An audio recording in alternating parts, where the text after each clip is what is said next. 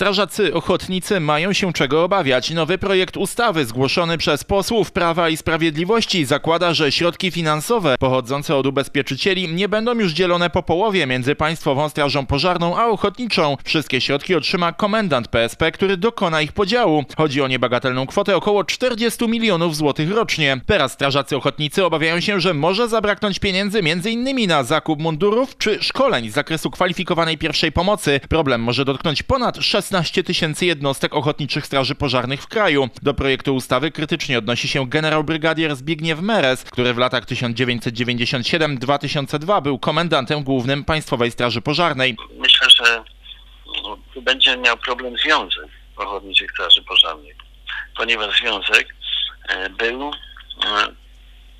tym, który w zasadzie poprzez e, utarty system zbierał wnioski e, na te środki, które składały Ochotnicze Straże Pożarne poprzez poszczególne jednostki, poprzez zarządy gminne, poprzez zarządy powiatowe do zarządu wojewódzkiego i tam były te środki kumulowane i uzgodnieniem z komendantem wojewódzkim były e, rozdysponowywane.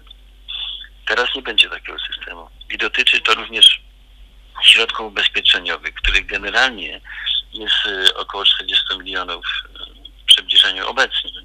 Całej sprawie smaczku dodaje fakt, że pod projektem ustawy podpisał się poseł Prawa i Sprawiedliwości Dariusz Starzycki, który reprezentuje Zarząd Miejski Ochotniczych Straży Pożarnych w Jaworznie. Nad projektem ustawy posłowie będą debatowali podczas 40. posiedzenia Sejmu, które odbędzie się w dniach 20 i 21 kwietnia.